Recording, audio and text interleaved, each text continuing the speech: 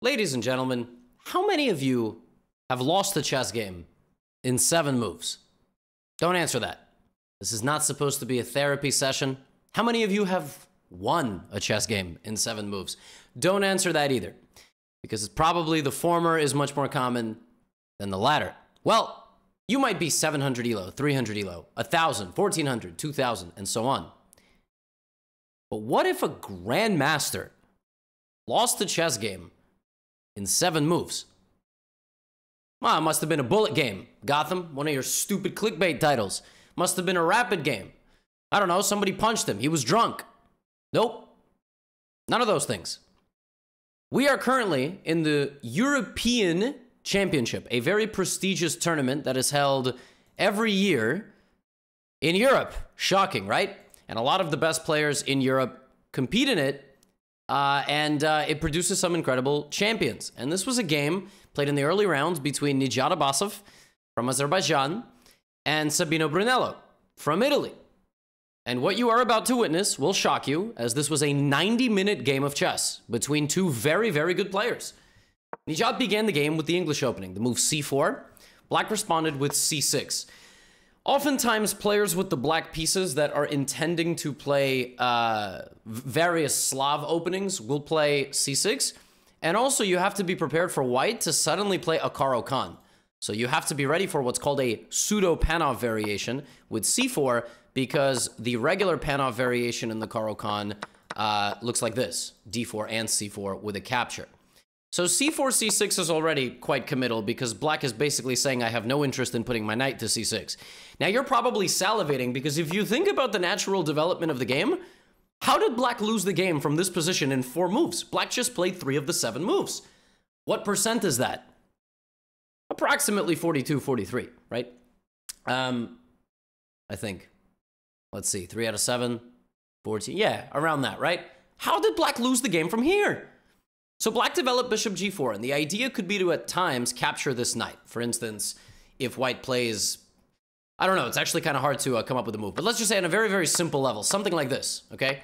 Damage structure, isolated pawn. And, and black's, black's actually very happy here, because black is going to go here, develop the knights, rock solid. So after bishop to g4, white usually goes bishop g2, or some form of knight to e5. And in this game, Abbasov played knight to e5 immediately targeting the bishop on g4. Now, there's a couple of places to put this bishop. Very natural retreat is to do this, and now it's kind of a London, but this knight is a little bit offside. Another very decent move according to chess theory is to play bishop e6. It looks incredibly dumb, but the idea of the move bishop e6 is you're adding a level of pressure to this pawn, and you always can play something like knight d7, where white really doesn't want to make three knight moves and just trade. That just doesn't make any sense. Not to mention that then black can always do this too. So sometimes the bishop will go to e6, but in this game it went to f5. Now, if I asked you to look around here, by the way, we're four out of seven moves on the way there. How on earth is black going to lose this game? Is what? Right? How? This just doesn't make any sense. what? Well, uh, in this position, white plays the move queen b3. Okay, queen b3 makes sense. And I just want to point something out. Black spent six minutes on this move. That is not a good sign it's not a good sign because if you're going to commit to this, you've got to have an answer to the move knight e5, right? I mean, you, you have to know the theory. So bishop f5, I'm not coaching Brunello, he's a much better player than I am, but I'm just saying like six minutes on move four, when you play bishop g4, you have to be ready for knight e5, right? So bishop f5 and now queen b3, and, and now, now we have another situation here where black is under some pressure. When black made this whole plan to move the light squared bishop, the pawn on b7 is weak. It's not losing. Black can defend it like this. Black can defend it like this. And black can also do this. And the move queen b6 is a very, very legitimate move. The idea is that if white trades, black is very happy with the opening of the a file and is actually already threatening to win material with bishop, b, bishop b1, rook b1, and actually rook a2, which is kind of hilarious. So the queens see each other. However, when the queen goes to b6, it completely removes its eye off of d5. Uh, and in this position, white intends to make, you know, to take advantage of that. There also is this very fascinating idea, queen to f3, uh, which attacks the bishop. And if the bishop goes here, obviously queen f7. But if this, then there's bishop h3. So just like a completely, completely wild line where uh, black can very quickly get a completely lost position, and uh, that's not what happened, but I'm just telling you those are the possibilities. It's very tricky when this queen comes out with that knight. That's under fire. This is an idea. That's under fire. Black plays queen b6, and now white takes on d5. Okay. So far, so good, right? So very simple and right off the bat. If black does this, white does this, and is a pawn up. Black does not want that. So before black takes the pawn, black has to take the queen. Folks, we have now made six moves for black. How is black going to lose the game? This is the move. This is move seven. Black to play and lose. Oh, that's very easy. Uh, bishop here, lose the bishop. Okay, black to play and not make a move that's stupid. Uh, F6? Okay, not a bad guess. Not bad, but... How's black gonna lose? I don't, I don't understand. Well, in the game, black played bishop e4. Bishop e4. How does that lose the game? It loses the game because black's entire idea was obviously the rook is under attack. So is the pawn. And he probably thought white will go here and I will take and life will go on. But after bishop to e4, Nijat Abbasov played the following move. Pawn takes c6. What? Oh, I get it. If bishop takes, I take and the rook is trapped. Nope. Because if this, this, this, huh? Then what's the winning move? Oh, it's obvious. C7. No, because the knight just moves. And you can't queen. Wait a minute. So why is bishop e4, pawn takes c6, bishop takes h1 losing? It's losing because in this position, white can sacrifice the rook. Rook takes it. Oh my god! And the idea is that the rook now is tra- it, it has no choice. It has to take on a7. And then the pawn is guaranteed a promotion and you win the game. You make a queen and it's oh my god. Oh my god. Oh my god. Rook takes a7. Oh my god. What a trap. Bishop e4. Pawn takes. And if black does this, rook a7 is incredible. Now, of course, black can, you know, just lose all their pieces in the following way and just be dead lost. But d takes c6. Now, you will notice, according to Stockfish, it's only losing if black takes the rook.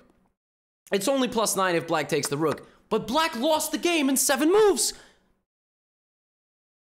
That's crazy. Rook takes a7 is one of the most unbelievable traps I have ever seen. Pawn takes, rook a7, c7, and you can't stop promotion. So instead of going down that way, black decided to do this. Here's the problem. Uh, it's now move 8, and black is down one pawn. Not only is black down one pawn, he has to live with a 20 minute time disadvantage and the psychological damage of, of blundering so early. That, that is a very real thing. Making a mistake that early in the game, he's now got to defend this position where uh, he is clearly, clearly, clearly in trouble. And white plays this move f3 now, and if you take the knight, I'm just going to go here, and then I will do this, do this, do this, do this, and you're dead lost. So instead of that, black tries to play knight d4 to try to get into c2.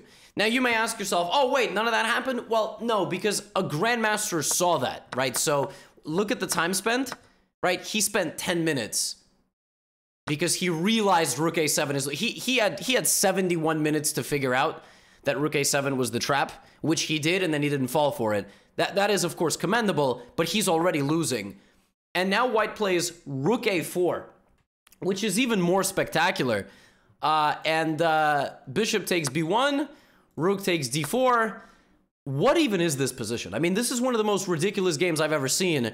And uh, black plays f6. The, the, the, what what is what is the bishop on b1 doing?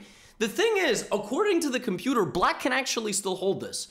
Point two is a very uh, bold recommendation. I mean, it's like 0.6, 0.7 probably, but um, once you blunder what he blundered in the opening, I'm not sure you can bounce back. Bishop e4, d takes c6 is a crazy idea. Absolutely. I mean, oh my God. Oh my God. What an idea. And when we got down finally to this position, e5, rook c4, Um, black was still under severe pressure. Uh, this rook is uh, this bishop is trapped. If you take to try to get out, I'm not worried about having damaged pawns because I'm just gonna go d4 next. I'm gonna crack that open, get my bishop out legally, get my bishop out legally, get my king and rook out. And uh, at the grandmaster level, this is a completely lost position. Uh, but this game ended uh, in emphatic fashion. Black played the move bishop to d6, and white did not touch the king, did not touch, you know, can't, can't even really move the bishop. Played the move knight c5. So targeting this pawn on b7. Um, and it goes from bad to worse here. Like, if you play rook b8, I'm going to go here, get my bishop out, get my bishop out. So black decides to play b5, and uh, white slides back. Knight develops. Now e4 controls the development of the knight on e7. And uh, look how much time black has spent on the game. We go from 40 minutes down to 6 because the position is so dreary. He lashes out with b4, the rook slides up, and now here comes pawn to d4. This bishop is just completely stuck. I mean, it, it made it down there, and there is no way home. We have pawn takes, and now bishop f4 takes, takes, and black resigned. Down 43 minutes on the clock, and with a bishop in prison. Have you ever seen a chess piece in prison? The bishop made it to the opposite side of the board and cannot escape. Anywhere it goes here, someone can take it. And if it goes to a2, it can't take the pawn ever because the knight on c5 protects it. White's next move is literally rook to c1. And if it's not rook to c1, it's going to be sliding the king and bishop out of the way and then taking the rook, using the rook to take the bishop like that. Black just resigned. He has nothing. If he tries to fight back with knight g6, white takes. If you try to take on f4, I will move my bishop out. I will move my king. Your, your bishop is still completely stuck. What even was this game? The average rating of this game is like 2570. This is crazy, right? This all came from a very offbeat uh, 95 kind of system, which is like very, you know, very, very tricky system. Queen b3 coming out early, and black could have been solid. You know, could have could have played a little bit more close to home. But then this is one of the nastiest traps. I mean, oh my god. Bishop takes h1, not taking because then this, not pushing because then the knight moves. Rook takes a7. Good god. Take a bow. I mean, what really, what can you do? And Black just could not fight back. I mean, it was like flatlined. He tried his best, but the position was tough and a very nice win uh, over Abbasov. And a tough one, tough one, uh, tough one for Brunello. But I mean, obviously he's a he's a very very good player. And these things happen. These things happen in sport. These things happen in chess. So that's how you can beat a grandmaster in seven moves or lose in seven moves, depending on if you're a pessimist or an optimist. Uh, try, who knows? Maybe maybe some of you can go try this in your own games. You know, do this. If they play bishop g4, hit him with a little 95, queen b3. Uh, but uh, yeah, what a game indeed. I'll see you in the next video. Get out of here.